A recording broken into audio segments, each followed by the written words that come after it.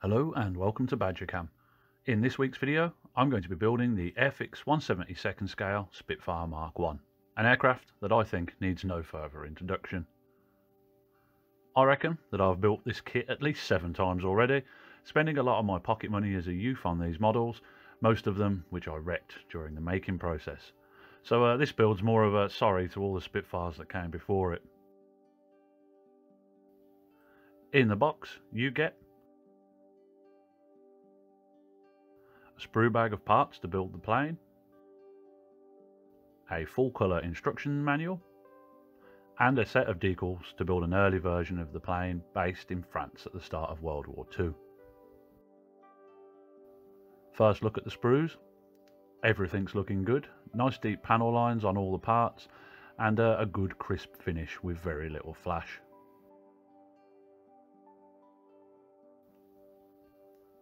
Now onto the build. As per, first thing on the menu is the cockpit.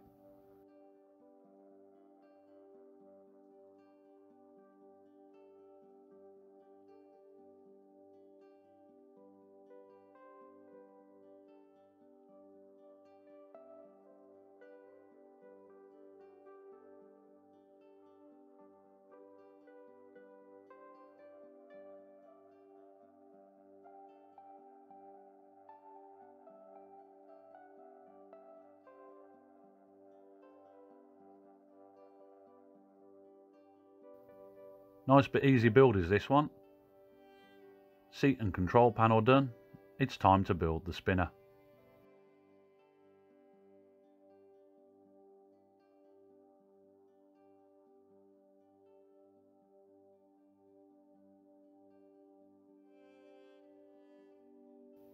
All this is nice and easy to build, but with most of these steps done, it's time to do some pre-assembly painting. The pilot's the first one to get a lick of paint, painting him up in a roughly mixed sort of RAF blue. While he's drying, I give the interior panels and seat a quick coat of Vallejo gunship green as this is a rough match for the RAF cockpit green.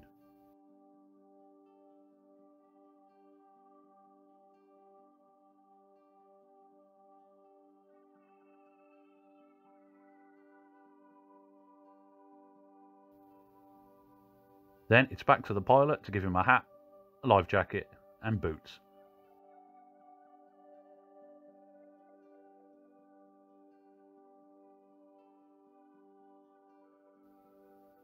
As well as some fake shadows to make him a bit more interesting to look at.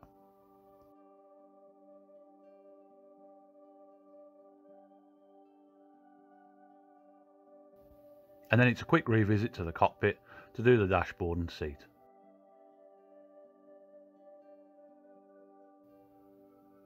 Pre-painting done, it's time to put the thing together.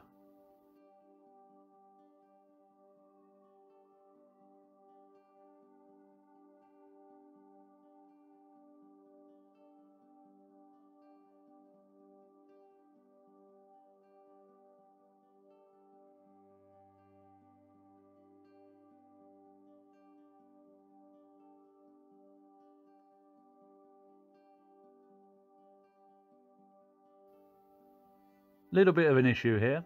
The two halves of the main fuselage seem a little warped. The fit's good, but it's going to need some uh, holding while the glue sets.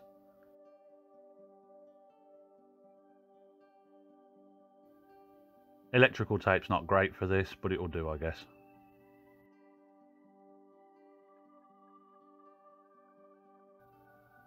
Now time to add the horizontal stabilisers, rudder and exhausts, before moving on to the main wing.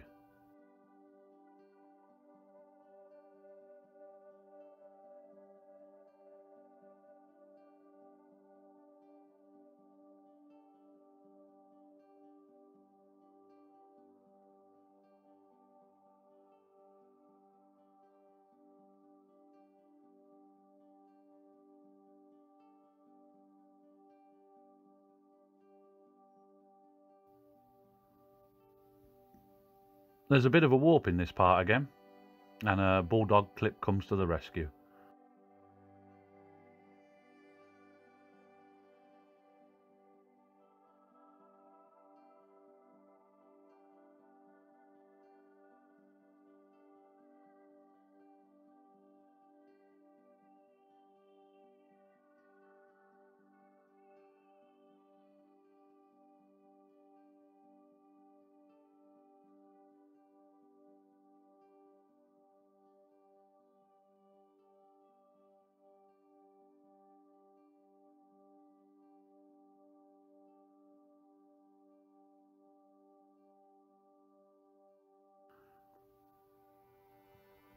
After adding a few bits to the underside of the model, it's onto the undercarriage. This is really nice and simple, but will need to be left to dry for a while before it's safe to leave it on its wheels.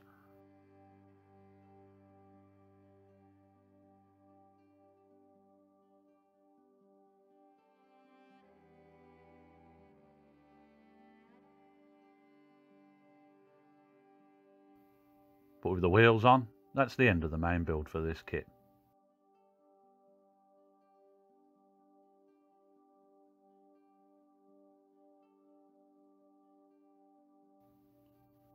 Onto the painting.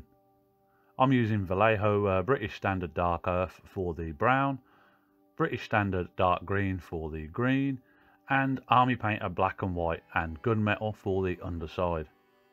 All of the paints are going to be built up in three or four thin layers.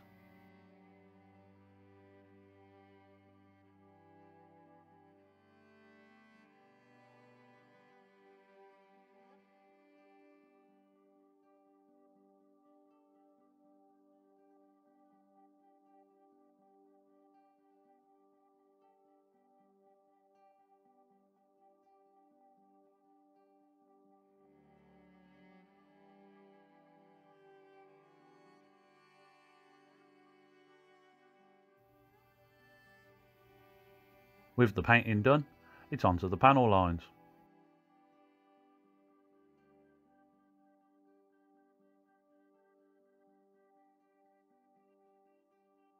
For this I'm using Army Painter Strong Tone with a bit of water and simply rubbing off any excess before it dries with my finger, leaving the paint in the lines.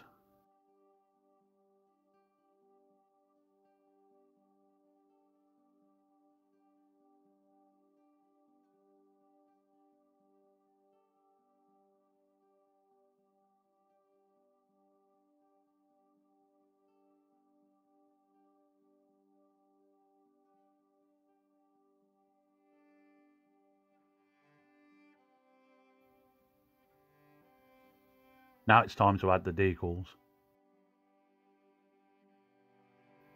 I was glad of having some tweezers to add some of the uh, thinner lines on the wings, but other than that, the decals went on nice and easy. The decals in this set were of a good quality and didn't have much carrier film around them.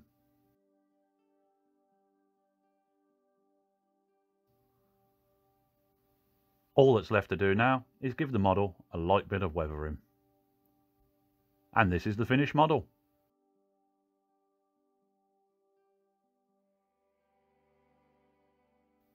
I'm quite chuffed with how this model's turned out.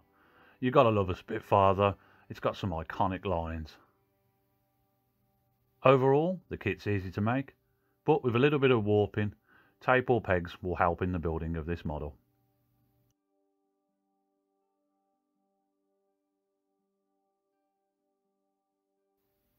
Anyway, I hope you enjoyed the video, and if you're thinking of getting one of these kits, it gives you an idea of what to expect from the build. Until next time though, look after yourselves and have a good one. Goodbye.